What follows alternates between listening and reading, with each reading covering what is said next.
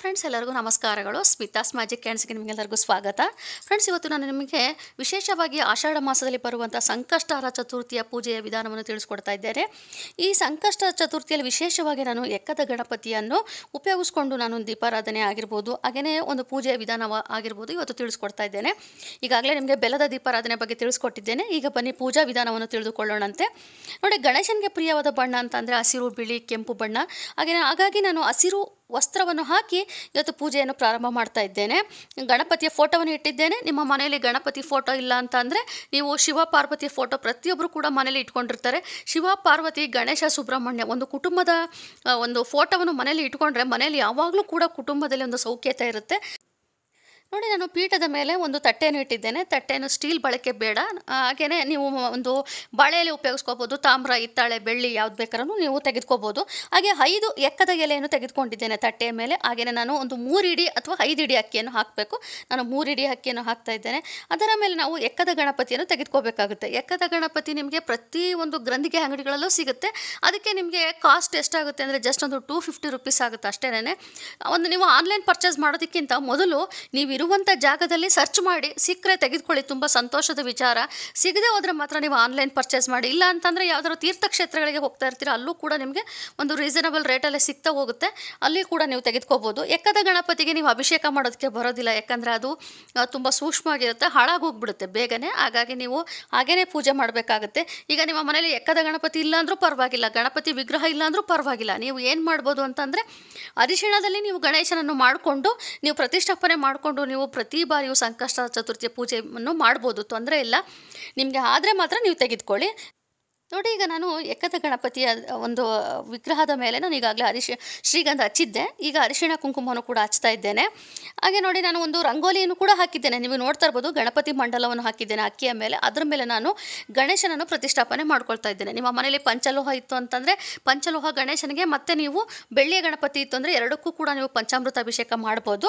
ಹಾಗೆಯೇ ನಾನು ಮತ್ತೊಂದು ಈಗ ನಿಮಗೆ ಯಾವ ರೀತಿ ಪ್ರಾರಂಭ ಮಾಡಬೇಕು ಅಂತ ಹೇಳ್ತಾ ಇದ್ದೇನೆ. ಇವತ್ತು ಈಗ ನಿಮಗೆ ನಾಳೆ ಶನಿವಾರ ಒಬ್ಬರು ವ್ಯೂವರ್ಸ್ ಮೆಸೇಜ್ ಮಾಡಿದ್ರು, ಮಧ್ಯಾಹ್ನ ಪ್ರಾರಂಭ ಆಗಿರೋದ್ರಿಂದ ನಾವು ಬೆಳಗ್ಗೆಯಿಂದ ಉಪವಾಸ ಇರೋದು ಬೇಡವಾ ಅಂತ ಕೇಳ್ತಾ ಇದ್ರಿ. ಖಂಡಿತ ಆಗ, ಆ ರೀತಿ ಮಾಡೋದಕ್ಕೆ ಹೋಗಬಾರ್ದು. ನಾವು ತಿಥಿಯನ್ನು ಗಣನೆಗೆ ತೆಗೆದುಕೋಬೇಕು. ಯಾವತ್ತು ಪೂಜೆ ಮಾಡ್ತೀವೋ ಅದನ್ನೇ ನಾವು ಗಣನೆಗೆ ತೆಗೆದುಕೊಂಡು ನೀವು ಬೆಳಗ್ಗೆಯಿಂದನೇ ಉಪವಾಸ ಇರಬೇಕಾಗುತ್ತೆ. ಬೆಳಗ್ಗೆ ಎದ್ದ ತಕ್ಷಣ ನೀವು ಸ್ನಾನ ಮಾಡಿಕೊಂಡು, ಗಣೇಶನಿಗೆ ನಮಸ್ಕಾರ ಮಾಡಿಕೊಂಡು ಗರಿಕೆನಿಟ್ಟು ನೀವು ಒಂದು ಸಂಕಲ್ಪ ಮಾಡ್ಕೊಳ್ತಾ ಇದ್ದೇನೆ, ಈ ರೀತಿಯಾಗಿ ನಾನು ಅಂತ ಹೇಳಿ ನೀವು ಉಪವಾಸ ಇದ್ದು ಅವತ್ತು ನೀವು ಪೂಜೆಯನ್ನು ಸಂಪೂರ್ಣವಾಗಿ ಮುಗಿದ ನಂತರ ನಾವು ಉಪವಾಸವನ್ನು ಬಿಡ್ತೇವೆ ಅಂತ ನೀವು ಒಂದು ಸಂಕಲ್ಪ ಮಾಡಿಕೊಂಡು, ಅದರ ನಂತರ ಗಣಪತಿಯ ಪೂಜೆಯನ್ನು ಪ್ರಾರಂಭ ಮಾಡಿ, ನೋಡಿ ಗಣೇಶನಿಗೆ ನಾನು ಮೂರಳೆ ಇರುವಂಥ ನಾನು ಒಂದು ಅಂಗನೂಲಿನಿಂದ ತಯಾರಿ ಮಾಡ್ಕೊಂಡಿದ್ದೇನೆ. ಯಾಕಂದರೆ ಪುಟ್ಟು ಗಣೇಶ ಅಲ್ವಾ? ಹಾಗಾಗಿ ಒಂದು ಜನಿವಾರವನ್ನು ಕೂಡ ಹಾಕಬೇಕಾಗುತ್ತೆ. ಹಾಗೆ ಕಡಲೆಕಾಳಿನ ಹಾರ ಕೂಡ ನಾನು ಮಾಡಿಟ್ಕೊಂಡಿದ್ದೀನಿ. ಇಪ್ಪತ್ತೊಂದು ಕಡಲೆಕಾಳನ್ನು ಹಾರ ಮಾಡಿ ಇಟ್ಕೋಬೇಕು ಇದನ್ನು ಯಾವ ರೀತಿ ಮಾಡೋದು ಅಂತಂದರೆ ನೀವು ಅರಿಶಿಣದ ನೀರಿನಲ್ಲಿ ಫಸ್ಟು ಕಡಲೆಕಾಳು ನೆನೆಸಿಡಿ. ಅದರ ನಂತರ ನೀವು ಸೂಜಿಯ ಸಹಾಯದಿಂದ ಪೋಣಿಸಿ ಗಣೇಶನಿಗೆ ಹಾಕಬೇಕಾಗುತ್ತೆ. ನೋಡಿ, ಇಪ್ಪತ್ತೊಂದು ಇದು ಕಡಲೆಕಾಳಿಂದ ನಾನು ಹಾರ ಮಾಡಿ ಹಾಕಿದ್ದೇನೆ. ಹಾಗೆಯೇ ಹೂವಿಂದ ಅಲಂಕಾರ ಮಾಡ್ತಾ ಇದ್ದೇನೆ. ಈಗಾಗಲೇ ನಿಮಗೆ ಹೇಳಿದಾಗೆ ಬಿಳಿ, ಕೆಂಪು ಹೂವಿಂದ ನೀವು ಅಲಂಕಾರ ಮಾಡ್ಬೋದು. ಈಗ ನಿಮಗೆ ಎಕ್ಕದೆಲೆ ಸಿಗದೆ ಹೋದಾಗ, ಈಗ ಮಳೆಗಾಲ ತುಂಬಾ ಕೆಲವೊಂದು ಊರುಗಳಲ್ಲಿ ಹೊರಗೆ ಹೋಗೋದು ಕಷ್ಟ ಆಗುತ್ತೆ. ಮಳೆ ಜಾಸ್ತಿ ಇರೋದ್ರಿಂದ ಆ ಒಂದು ಸಮಯದಲ್ಲಿ ನೀವು ಪರವಾಗಿಲ್ಲ ವಿಳೆದೆಲೆ ಇದ್ದರೆ ವಿಳೆದೆಲೆನೇ ಉಪಯೋಗಿಸ್ಕೊಳ್ಳಿ. ನಿಮಗೆ ಒಂದು ಪಕ್ಷ ವಿಳೆದೆಲೆ ಸಿಗದೆ ಹೋದರೂ ತಲೆ ಕೆಡಿಸ್ಕೋಬೇಡಿ. ಬಾಳೆ ಎಲೆ ಸಿಕ್ಕರೆ ಬಾಳೆ ಎಲೆ ಮೇಲೆ ಇಡಿ, ತೊಂದರೆ ಇಲ್ಲ, ಮುತ್ತುಗದ ಎಲೆ ಕೂಡ ಉಪಯೋಗಿಸ್ಕೋಬೋದು. ಈ ರೀತಿಯಾಗಿ ಸರಳವಾಗಿ ಮಾಡ್ಕೊಳ್ಳಿ. ತುಂಬಾ ಗಡಿಬಿಡಿಯಾಗಿ ಇಂಥದೇ ಬೇಕು, ಹಾಗೇ ಬೇಕು ಅಂತೇಳಿ ಮಾಡೋದಕ್ಕೆ ಹೋಗಬೇಡಿ. ದೇವರ ಪೂಜೆಯಲ್ಲಿ ಯಾವಾಗಲೂ ಕೂಡ ಅಷ್ಟೇ ನಾವು ಹಿಂಗೆ ಇರಬೇಕು ಅಂತ ನಾವು ಅಂದ್ಕೊಳ್ಳೋದಕ್ಕೆ ಹೋಗಬಾರ್ದು. ಭಕ್ತಿ, ನಂಬಿಕೆ, ಪ್ರೀತಿ, ಅದು ತುಂಬಾ ಮುಖ್ಯವಾದದ್ದು. ಹಾಗೆ ಪ್ರಸಾದ ಅಂತ ಬಂದಾಗ ಪಂಚಾಮೃತವನ್ನು ಸಿದ್ಧತೆ ಮಾಡಿ ಇಟ್ಕೊಳ್ಳಿ ಹಾಗೆಯೇ ನಿಮ್ಮ ಮನೆಯಲ್ಲಿ ಕಾಲು ಸಕ್ಕರೆ, ಖರ್ಜೂರ ಒಂದು, ಅಂದರೆ ಒಂದು ಡ್ರೈ ಫ್ರೂಟ್ಸ್ ಏನಿರುತ್ತೋ ಅದನ್ನು ಇಡ್ಬೋದು. ಈಗ ಕಡಲೆಕಾಳು ಆಗಿರೋದ್ರಿಂದ ನಾನು ಕಡಲೆಕಾಳು ಜೊತೆ ಬೆಲ್ಲವನ್ನು ಇಟ್ಟಿದ್ದೇನೆ ಆ ರೀತಿಯಾಗೂ ಕೂಡ ನೀವು ಗಣೇಶನಿಗೆ ಪ್ರಸಾದವಾಗಿ ಇಡ್ಬೋದು. ಇಲ್ಲಾಂದ್ರೆ ಅವಲಕ್ಕಿ ಬೆಲ್ಲವನ್ನು ಇಡಿ, ಒಂದು ಲೋಟ ಹಾಲು ಇಡಿ. ಈ ರೀತಿ ಸರಳವಾಗಿ ಮಾಡ್ಕೋಬೋದು. ನಾವಿಲ್ಲ ಮೋದಕ ಮಾಡ್ಕೊಳ್ತೀವಿ ಅಂತಂದರೆ ತುಂಬ ಅಂದರೆ ತುಂಬಾ ಒಳ್ಳೆಯದು ಗಣೇಶನಿಗೆ ಮೋದಕ ಅಂದರೆ ತುಂಬ ಪ್ರಿಯವಾದದ್ದು. ಇಪ್ಪತ್ತೊಂದು ಮೋದಕವನ್ನು ಮಾಡಿಡಿ. ಅದರಲ್ಲಿ ನಿಮಗೆ ಆಗಲೇ ತುಂಬ ಸರಿ ತಿಳಿಸ್ಕೊಡ್ತಾ ಇರ್ತಾನೆ. ಇಪ್ಪತ್ತೊಂದು ಮೋದಕದಲ್ಲಿ ಒಂದು ಸಾಲ್ಟೆಡ್ ಮೋದಕವನ್ನು ಮಾಡಿಡಿ. ಅದನ್ನು ಮಾತ್ರ ಸಂಕಲ್ಪ ಮಾಡಿಕೊಂಡೇ ಮಾಡಬೇಕು. ಅಂದರೆ ಇಷ್ಟು ತಿಂಗಳುಗಳು ನಾವು ಪೂಜೆ ಮಾಡ್ತೇವೆ ಅಂತೇಳಿ ಒಂಬತ್ತು ತಿಂಗಳು, ಹನ್ನೊಂದು ತಿಂಗಳು ಈ ರೀತಿಯಾಗಿ ನೀವು ಮೋದಕವನ್ನು ಮಾಡಿ ನಾನು ಪ್ರಸಾದವನ್ನು ಇಟ್ಟು ಪೂಜೆ ಮಾಡ್ತೇನೆ ಅಂತ ಸಂಕಲ್ಪ ಮಾಡಿಕೊಂಡು ಅದರ ನಂತರ ನೀವು ಗಣೇಶನ ಪೂಜೆ ಪ್ರಾರಂಭ ಮಾಡಿ. ನೋಡಿ, ನಾನು ಬೆಲ್ಲದ ದೀಪಾರಾಧನೆ ಬಗ್ಗೆ ತಿಳಿಸ್ಕೊಟ್ಟಿದ್ದೆ ಈಗಾಗಲೇ, ಬೆಲ್ಲದ ದೀಪಾರಾಧನೆ ಕೂಡ ತಿಳಿಸ್ಕೊಟ್ಟಿದ್ದೇನೆ.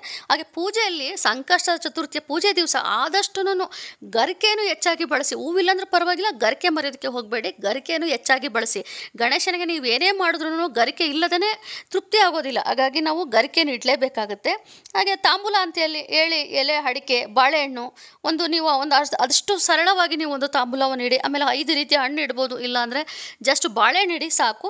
ಹಾಗೆ ಒಂದು ಕಾಯಿಯನ್ನು ನಾವು ಸಂಕಲ್ಪ ಮಾಡಿಕೊಂಡು ಒಂದು ಕಾಯಿಯನ್ನು ಸಹ ನೀವು ದೇವರ ಮುಂದೆ ಇಟ್ಟು ಪೂಜೆ ಮಾಡ್ಕೊಳ್ಳಿ. ಸಂಕಲ್ಪ ಅಂದರೆ ಯಾವ ರೀತಿ ಅಂದರೆ ಕಾಯಿಯನ್ನು ಕೈಯಲ್ಲಿ ಇಟ್ಕೊಂಡು ಕಾಯಿಯ ಮೇಲೆ ಒಂದು ಸ್ವಲ್ಪ ಗರಿಕೆಯನ್ನು ಇಟ್ಟು ನಮಸ್, ಒಂದು ಗಣೇಶನಲ್ಲಿ ನಮಸ್ಕಾರ ಮಾಡ್ಕೊಳ್ಳಿ. ನನಗೆ ಈ ರೀತಿಯಾಗಿ ತೊಂದರೆ ಇದೆ. ನಾನು ಕಷ್ಟಗಳನ್ನ ಪರಿಹಾರ ಮಾಡಿಕೊಡು. ಯಾವುದೇ ರೀತಿಯ ವಿಘ್ನಗಳು ಬರಬಾರ್ದು. ನಾನು ಈ ರೀತಿಯ ಪೂಜೆ ಮಾಡ್ತಾ ಇದ್ದೇನೆ. ನಮಗೆ ಇದರಲ್ಲಿ ನಮಗೆ ಒಳ್ಳೆಯ ಯಶಸ್ಸು ಸಿಗಲಿ ಅಂತೇಳಿ ನೀವು ಗಣೇಶನಲ್ಲಿ ಕೇಳಿಕೊಂಡು ಅದರ ನಂತರ ನೀವು ಪೂಜೆಯನ್ನು ಪ್ರಾರಂಭ ಮಾಡಿ ನೋಡಿ ಎಲ್ಲ ಸಿದ್ಧತೆಗಳನ್ನು ನಾನು ನಿಮಗೆ ಈಗಾಗಲೇ ತಿಳಿಸ್ಕೊಟ್ಟಿದ್ದೆ. ಈಗ ನೋಡಿ, ಅರ್ಚನೆ ಮಾಡೋದಕ್ಕೆ ನಾನು ಗಣೇಶನ ಮುಂದೆ ವಿಳೆದೆಲೆ ಇಡ್ತಾ ಇದ್ದೇನೆ. ಇವತ್ತು ತಟ್ಟೆ ಇಟ್ಟಿಲ್ಲ. ನೀವು ತಟ್ಟೆನಾದರೂ ಇಡ್ಬೋದು ವಿಳೆದೆಲೆನಾದ್ರೂ ನೀವು ಇಟ್ಕೋಬೋದು, ತೊಂದರೆ ಇಲ್ಲ. ಅರ್ಚನೆ ಮಾಡೋದಕ್ಕೂ ಮುಂಚೆ ಗಣೇಶನಲ್ಲಿ ನೀವು ಸ್ವಲ್ಪ ಅಕ್ಷತೆ ಮತ್ತು ಒಂದು ಹೂವನ್ನು ಕೈಯಲ್ಲಿ ಇಟ್ಕೊಂಡು ನಮಸ್ಕಾರ ಮಾಡಿಕೊಂಡು ಗಣೇಶನ ಮುಂದೆ ಇಟ್ಟು ಅದರ ನಂತರ ನೀವು ಅರ್ಚನೆಯನ್ನು ಪ್ರಾರಂಭ ಮಾಡಿ. ಅರ್ಚನೆ ಅಂತ ಬಂದಾಗ ಕುಂಕುಮಾರ್ಚನೆ ಮಾಡಬೇಕು, ಹಾಗೇನಿಲ್ಲ. ನೀವು ಗರ್ಕೆ ತುಂಬ ಸಿಕ್ಕರೆ ಗರ್ಕೆಯಿಂದ ಅರ್ಚನೆ ಮಾಡ್ಬೋದು. ಎಕ್ಕದ ಹೂ ಸಿಕ್ಕರೆ ಅದು ತುಂಬಾ ಒಳ್ಳೆಯದು ಎಕ್ಕದ ಹೂವಿಂದ ಅರ್ಚನೆ ಮಾಡಿ ಅಥವಾ ಹೂಗಳಿಂದ ಅರ್ಚನೆ ಮಾಡಿ. ನಿಮಗೆ ಅವತ್ತಿನ ದಿವಸ ಯಾವುದು ಸುಲಭವಾಗಿ ಸಿಗುತ್ತದೋ ಆ ಒಂದು ವಸ್ತುಗಳಿಂದ ನೀವು ಒಂದು ಅರ್ಚನೆಯನ್ನು ಮಾಡ್ಕೋಬೋದು. ನೋಡಿ, ನಮಗೆ ಈ ಒಂದು ಸಂಕಷ್ಟ ಚತುರ್ಥಿಯು ಪ್ರಾರಂಭವಾಗುವುದೇ ಶನಿವಾರ ಮಧ್ಯಾಹ್ನ ಒಂದು ಗಂಟೆ ಇಪ್ಪತ್ತೆಂಟು ನಿಮಿಷಕ್ಕೆ. ಹಾಗಂತೇಳಿ ನಾವು ಮಧ್ಯಾಹ್ನ ಪೂಜೆ ಮಾಡೋದಲ್ಲ, ಬೆಳಗ್ಗೆಯಿಂದನೇ ಪ್ರಾರಂಭ ಮಾಡಬೇಕಾಗುತ್ತೆ. ಈಗಾಗಲೇ ನಿಮ್ಗೆ ಹೇಳಿದಾಗೆ ತಿಥಿಯನ್ನು ಗಣನೆಗೆ ತೆಗೆದುಕೊಂಡು ನಾವು ಶನಿವಾರನೇ ಪೂಜೆ ಮಾಡಬೇಕು. ಹಾಗಾಗಿ ಅದ್ರ ಜೊತೆಯಲ್ಲಿ ನಮಗೆ ಈ ಒಂದು ಚತುರ್ಥಿಯಲ್ಲಿ ನಮಗೆ ಚಂದ್ರೋದಯ ತುಂಬ ಮುಖ್ಯವಾದದ್ದಾಗಿರೋದ್ರಿಂದ ನಮಗೆ ಶನಿವಾರ ಸಂಜೆ ನಾವು ಚಂದ್ರೋದಯವನ್ನು ನೋಡಿಕೊಂಡು ಅದರ ನಂತರ ಪೂಜೆಯನ್ನು ನಾವು ಸಂಪೂರ್ಣ ಮಾಡಬೇಕಾಗುತ್ತದೆ. ಭಾನುವಾರ ಬೆಳಗ್ಗೆ ಹತ್ತು ಗಂಟೆ ಐವತ್ತು ನಿಮಿಷಕ್ಕೆ ನಿಮಗೆ ಆ ಒಂದು ಅದು ಚತುರ್ಥಿಯ ಸಮಯ ಮುಗ್ದೋಗ್ಬಿಡುತ್ತೆ. ಆ ಒಂದು ಸಮಯದಲ್ಲಿ ನೀವು ಗಣೇಶನನ್ನು ವಿಸರ್ಜನೆ ಮಾಡ್ಬೋದು. ಈಗ ನೋಡಿ ನಿಮಗೆ ಈಗ ನಾವು ಎಲ್ಲ ಸಿದ್ಧತೆಗಳನ್ನು ಮಾಡಿಕೊಂಡಿದ್ದು ನಿಮಗೆ ತಿಳಿಸ್ಕೊಟ್ಟಿದ್ದೇನೆ. ಹಾಗೆ ಕುಂಕುಮಾರ್ಚನೆ ಬಗ್ಗೆ ತಿಳಿಸ್ಕೊಟ್ಟಿದ್ದೇನೆ. ಅದರ ನಂತರ ನಾವು ಧೂಪವನ್ನು ಹಚ್ಚಿ, ಹಾಗೆ ನಾವು ಏನು ಕಾಯಿಯನ್ನು ಸಂಕಲ್ಪ ಮಾಡಿಟ್ಟಿರ್ತೇವೋ ಆ ಕಾಯಿಯನ್ನು ನಾವು ಮನೇಲೇ ಒಡೆದು ನೀವು ನಮಸ್ಕಾರ ಮಾಡ್ಕೋಬೋದು. ಇಲ್ಲ ಅಂತಂದರೆ ನೀವು ದೇವಸ್ಥಾನಕ್ಕೂ ಕೂಡ ತೆಗೆದುಕೊಂಡು ಹೋಗಿ ಅಲ್ಲಿ ಕೂಡ ನೀವು ಪೂಜೆಯನ್ನು ಮಾಡ್ಕೊಂಬರ್ಬೋದು. ನೋಡಿ ಬೆಲ್ಲದ ಬೆಲ್ಲದ ದೀಪಾರಾಧನೆ ಬಗ್ಗೆ ತಿಳಿಸ್ಕೊಟ್ಟಿದ್ದೇನೆ. ನಾನು ನಿಮಗೆ ಲಾಸ್ಟ್ ವಿಡಿಯೋದಲ್ಲಿ ಪಂಚಮುಖಿ ದೀಪಾರಾಧನೆ ಕೂಡ ತಿಳಿಸ್ಕೊಟ್ಟಿದ್ದೆ. ಎಕ್ಕದ ಎಲೆಯನ್ನು ಉಪಯೋಗಿಸ್ಕೊಂಡು. ಈ ಬಾರಿ ನಾನು ಸ್ವಲ್ಪ ವಿಶೇಷವಾಗಿರಲಿ ಆಷಾಢ ಮಾಸ ಅಂತ ಹೇಳಿ. ಬೆಲ್ಲದಲ್ಲಿ ದೀಪಾರಾಧನೆ ಮಾಡೋದನ್ನು ನಾನು ತಿಳಿಸ್ಕೊಟ್ಟಿದ್ದೆ. ಆಮೇಲೆ ನಾನು ತೆಂಗಿನಕಾಯಿ ದೀಪಾರಾಧನೆ ಬಗ್ಗೆ ಕೂಡ ನಿಮ್ಗೆ ಆಲ್ರೆಡಿ ತಿಳಿಸ್ಕೊಟ್ಟಿದ್ದೇನೆ. ಅದರ ನಂತರ ನೋಡಿ ಕಾಯಿಯನ್ನು ಹೊಡೆದು ನಮಸ್ಕಾರ ಮಾಡಿಕೊಂಡು ಮಂಗಳಾರತಿಯನ್ನು ಮಾಡಬೇಕು, ಕರ್ಪೂರದ ಆರತಿಯನ್ನು ಮಾಡ್ಬೋದು. ಆಮೇಲೆ ಎರಡು ತುಪ್ಪದ ದೀಪವನ್ನು ಹಚ್ಚಿಡೋದು ಮರಿಬೇಡಿ. ಈಗ ನೀವು ಬೆಲ್ಲದ ದೀಪ ಹಚ್ಚೋದಕ್ಕೆ ನಮಗೆ ಬೆಲ್ಲದ ಅಚ್ಚು ಸಿಗೋದಿಲ್ಲ ಅಂತ ಅಂದರೆ ನೀವು ನೀವು ತುಪ್ಪದ ದೀಪವನ್ನು ಅಷ್ಟೇ ಹಚ್ಚಿ ಇಟ್ಬಿಟ್ಟು ಒಂದು ಸಂಕಲ್ಪ ಮಾಡ್ಕೋಬೋದು. ಆ ರೀತಿಯಾಗೂ ಸಹ ನೀವು ಮಾಡ್ಬೋದು. ಯಾವುದೇ ಪೂಜೆ ಮಾಡಲಿ ನಾವು ತುಪ್ಪದ ದೀಪ ಹಚ್ಚೋದ್ರಿಂದ ನಮಗೆ ತುಂಬ ಶೀಘ್ರ ಫಲ ಸಿಗುವಂಥದ್ದು. ಹಾಗೆಯೇ ನೋಡಿ ನಮಗೆ ಚಂದ್ರೋದಯ ಸಮಯ ಯಾವಾಗ ಅಂತಂದರೆ ರಾತ್ರಿ ಒಂಬತ್ತು ಗಂಟೆ ಇಪ್ಪತ್ತಾರು ನಿಮಿಷಕ್ಕೆ ನಮಗೆ ಚಂದ್ರೋದಯ ಸಮಯವಾಗುತ್ತದೆ. ಆ ಒಂದು ಸಮಯವನ್ನು ನೋಡಿಕೊಂಡು ನೀವು ಪೂಜೆಯನ್ನು ಮುಕ್ತಾಯ ಮಾಡ್ಕೋಬೋದು. ಹೊರಗೆ ಹೋಗಿ ನೋಡಿ ನಿಮಗೆ ಒಂದು ಪಕ್ಷ ಮೋಡ ಮುಚ್ಕೊಂಡಿದೆ ಅಂತನೋ ಮತ್ತೊಂದು ಕಾರಣಕ್ಕೆ ಚಂದ್ರ ಕಾಣಿಸ್ತೇ ಹೋದಾಗ ನೀವು ಮನೆಯೊಳಗೆ ಬಂದು ನಮಸ್ಕಾರ ಮಾಡಿಕೊಂಡು ಗಣೇಶನಲ್ಲಿ ಒಂದು ಅಕ್ಕಿಯನ್ನು ತಟ್ಟೆಯಲ್ಲಿ ಹಾಕ್ಕೊಂಡು ಅಕ್ಕಿಯ ಮೇಲೆ ಚಂದ್ರಬಿಂಬವನ್ನು ಬರೆದು ಅದಕ್ಕೆ ಅಕ್ಷತೆ ಹೂವು ಎಲ್ಲ ಇಟ್ಟು ನಮಸ್ಕಾರ ಮಾಡಿಕೊಂಡು ಊದ್ಬತ್ತಿಯನ್ನು ಬೆಳಗಿ ನಮಸ್ಕಾರ ಮಾಡಿಕೊಂಡು ಮತ್ತೊಮ್ಮೆ ಹೊರಗೆ ಬಂದು ನೀವು ಆಕಾಶವನ್ನು ನೋಡಿಕೊಂಡು ಅಂದರೆ ಚಂದ್ರನ ಚಂದ್ರನ ಬಿಂಬ ಕಾಣಿಸ್ತೇ ಹೋದ್ರೂ ಪರವಾಗಿಲ್ಲ, ಒಂದ್ಸರಿ ಹೊರಗೆ ಬಂದು ನಮಸ್ಕಾರ ಮಾಡಿಕೊಂಡು, ಕಳಸದಲ್ಲಿ ನೀವು ಸ್ವಲ್ಪ ಮಟ್ಟಿಗೆ ನೀರನ್ನು ತೆಗೆದುಕೊಂಡು ಬಂದು, ನೀವು ಒಂದು ಅರ್ಘ್ಯ ಅಂತೇಳಿ ಬಿಡಬೇಕು. ಅದನ್ನು ಬಿಟ್ಟಾದ ನಂತರ ಒಳಗೆ ಬಂದು ನಮಸ್ಕಾರ ಮಾಡಿಕೊಂಡು ಗಣೇಶನಿಗೆ ಮತ್ತೊಮ್ಮೆ ಮಂಗಳಾರತಿಯನ್ನು ಮಾಡಿ, ಅದರ ನಂತರ ನೀವು ಪೂಜೆಯನ್ನು ಮುಕ್ತಾಯ ಮಾಡಬೇಕಾಗುತ್ತದೆ. ಇದು ನೀವು ಸಂಕಷ್ಟದ ಚತುರ್ಥಿಯಲ್ಲಿ ಪೂಜೆಯನ್ನು ಮಾಡಬೇಕಾಗಿರೋಂಥದ್ದು. ಹಾಗೆ ಅದು, ನೀವು ಪೂಜೆ ಮುಕ್ತಾಯದ ನಂತರ ನೀವು ಪ್ರಸಾದವನ್ನು ತೆಗೆದುಕೋಬೇಕಾಗುತ್ತೆ.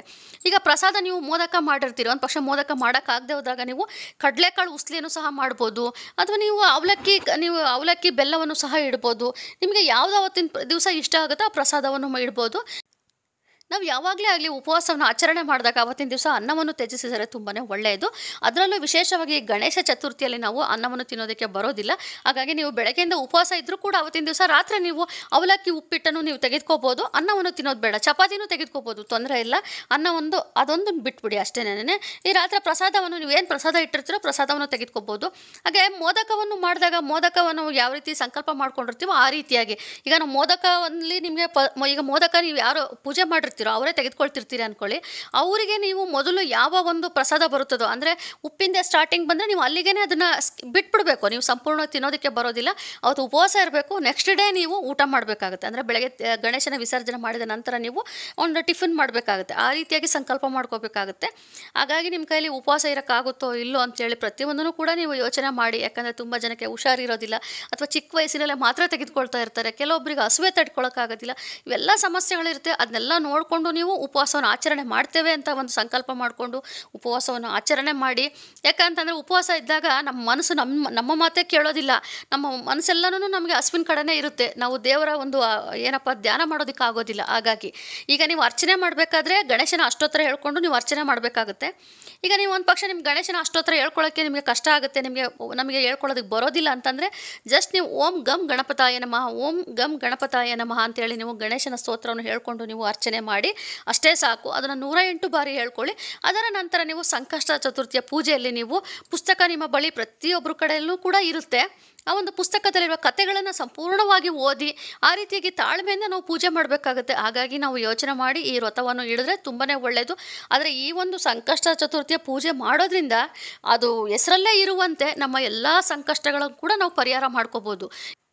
ಯಾವುದೂ ಕೂಡ ನಮಗೆ ಕಷ್ಟ ಆಗೋದಿಲ್ಲ. ಆದರೆ ನನಗೆ ತುಂಬ ಜನ ಕೇಳ್ತಾ ಇರ್ತಾರೆ ನನಗೆ, ನಾವು ಏನು ಪೂಜೆ ಮಾಡಿದ್ರೆ ನಮ್ಗೆ ಒಳ್ಳೇದಾಗೋದಿಲ್ಲ ಅಂತೇಳಿ. ಆದರೆ ನಾನು ಹೇಳೋದು ಇಷ್ಟೇನೇ ನಂಬಿಕೆ ಇಟ್ಟು ಮಾಡಿ, ಬೇರೆಯವ್ರು ಯಾರಿಗೋ ಒಳ್ಳೇದಾಯಿತು ಅಂತೇಳಿ ನಾವು ಪೂಜೆ ಪ್ರಾರಂಭ ಮಾಡ್ತೀವಿ ಅಂತ ಮಾಡೋದಕ್ಕೆ ಹೋಗಬೇಡಿ. ನೀವು ನಂಬಿಕೆ ಇಟ್ಟು ನಮ್ಗೆ ಒಳ್ಳೇದಾಗೇ ಆಗುತ್ತೆ ಅಂತೇಳಿ ಒಂದು ವಿಶ್ವಾಸದಿಂದ ನೀವು ಪೂಜೆ ಮಾಡ್ತಾ ಬನ್ನಿ. ನಿಮಗೆ ಎಲ್ಲ ವಿಷಯದಲ್ಲೂ ಕೂಡ ನಿಮಗೆ ಒಳ್ಳೇದಾಗ್ತಾ ಹೋಗುತ್ತೆ. ಗಣೇಶ ಗಣೇಶ ಒಂಥರ ವಿಘ್ನ ನಿವಾರಕ. ಹಾಗಾಗಿ ನಮಗೆ ಯಾವುದೇ ಕಷ್ಟಗಳಿದ್ರೂ ಕೂಡ ಗಣೇಶನ ಮೂಲಕನೇ ನಮಗೆ ನಿವಾರಣೆ ಆಗುವಂಥದ್ದು. ಎಲ್ಲರೂ ಕೂಡ ಸಂಕಷ್ಟ, ಚತುರ್ಥಿ ಪೂಜೆ ಆಚರಣೆ ಮಾಡಿ ಎಲ್ಲರಿಗೂ ಕೂಡ ಒಳ್ಳೆಯದಾಗಲಿ ಇದರಲ್ಲಿ ನಿಮಗೆ ಇನ್ನೂ ಏನಾದರೂ ಒಂದು ಗೊಂದಲವಿತ್ತು ಅಂದರೆ ಖಂಡಿತ ನನಗೆ ಮೆಸೇಜ್ ಮಾಡಿ. ಹಾಗೆಯೇ ಲೈಕ್ ಮಾಡಿ ಕಮೆಂಟ್ ಮಾಡಿ ಶೇರ್ ಮಾಡಿ, ಹಾಗೆ ಸಬ್ಸ್ಕ್ರೈಬ್ ಮಾಡ್ಕೊಳ್ಳೋದು ಮರಿಬೇಡಿ. Thank you